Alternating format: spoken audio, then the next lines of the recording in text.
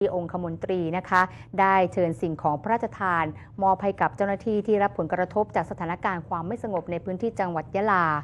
พระบาทสมเด็จพระเจ้าอยู่หัวทรงพระกรุณาโปรดเกล้าโปรดกระหม่อมให้พลเอกภัยบุญคุ้มฉายาองคมนตรี เดินทางไปเยี่ยมและให้กำลังใจเจ้าหน้าที่และประชาชน ที่ได้รับผลกระทบจากสถานการณ์ความไม่สงบในพื้นที่จังหวัดชายแดนภาคใต้ โดยในวันนี้ได้อัญเชิญสิ่งของพระราชทาน พระบาทสมเด็จพระเจ้าอยู่หัวจำนวน 50 ชุด มอบให้แก่เจ้าหน้าที่ที่ปฏิบัติภารกิจ ณ หน่วยเฉพาะกิจกรมฐานพรานที่ 30 เพื่อเป็นขวัญและกำลังใจทางนี้สืบเนื่องจากเมื่อวันที่ 12 พฤษภาคม 2566 ได้มีคนร้ายลอบวางระเบิด ชุดปฏิบัติการพิทักษ์พื้นที่ สังกัดกองร้อยฐานพรานที่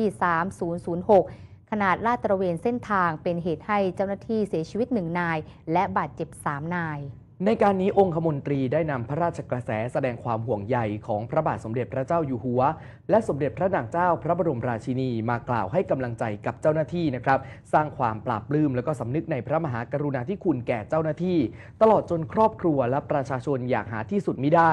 จากนั้นองคมนตรีได้เชิญสิ่งของพระราชทานจำนวน 24 ชุด มอบให้กับเจ้าหน้าที่ผู้ปฏิบัติภารกิจณฐานปฏิบัติการชุดคุ้มครองตำบลบูดี บ้านจือนอแรอำเภอเมืองจังหวัดยะลา ซึ่งก็ได้รับผลกระทบจากเหตุคนร้ายคว้างระเบิดไปบอม และอาวุธปืนนะครับยิงใส่เจ้าหน้าที่ แต่โชคดีที่ไม่มีผู้ใดได้รับบาดเจ็บ หรือเสียชีวิตนะครับโดยเหตุเกิดเมื่อวันที่ 9 เมษายนที่ผ่านมา ทั้งนี้การได้รับสิ่งของพระราชทานในครั้งนี้นะครับก็ถือว่าเป็นการสร้างขวัญกำลังใจ แล้วก็สำนึกในพระมหากรุณาธิคุณ แก่เจ้าหน้าที่อย่างหาที่สุดมิได้ครับ